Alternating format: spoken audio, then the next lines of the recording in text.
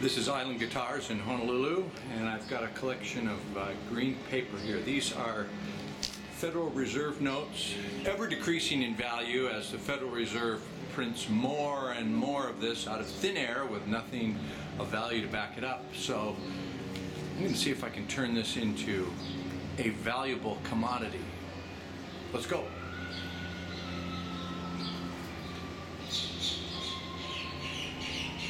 Yeah, they knew I was coming. They're actually putting new strings on this triple O, triple Ot 18, a fine Martin guitar. I'm here to make a deal, talking to the co owner of the store, Neil, who uh, has got to check with his partner before he accepts my offer. Actually, he doesn't like what I'm offering. Here's Neil with a sour look on his face at my offer. well,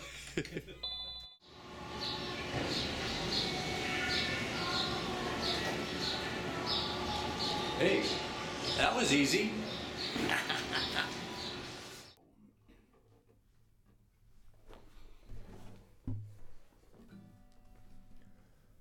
Here it is, the new baby, the Martin Triple O 18. That doesn't really roll off my tongue because I'm a dreadnought guy. I've got a D 28. I'm used to saying D18, D41, D this and that, and the triple O, triple O, but uh, actually a sweet sounding guitar. I'm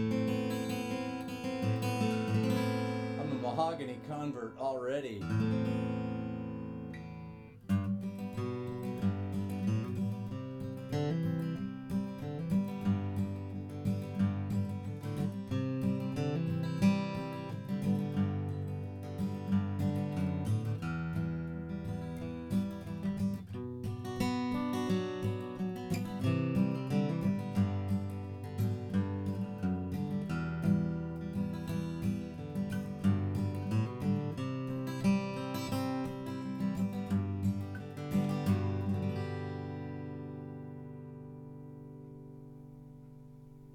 Thing sounds good.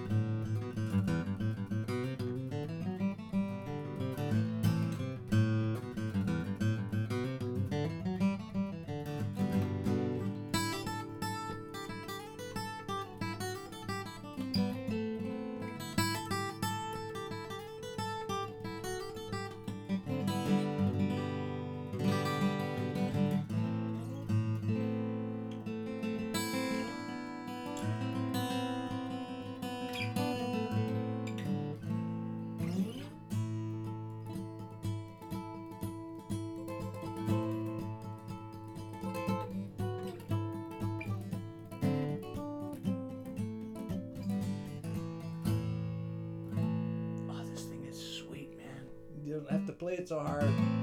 It's just.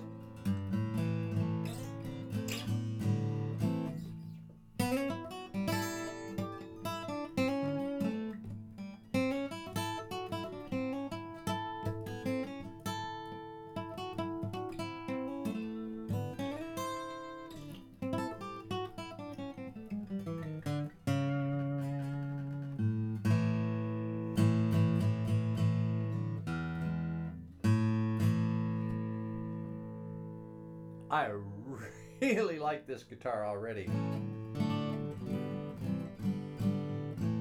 Yeah, man. Yeah. Woo!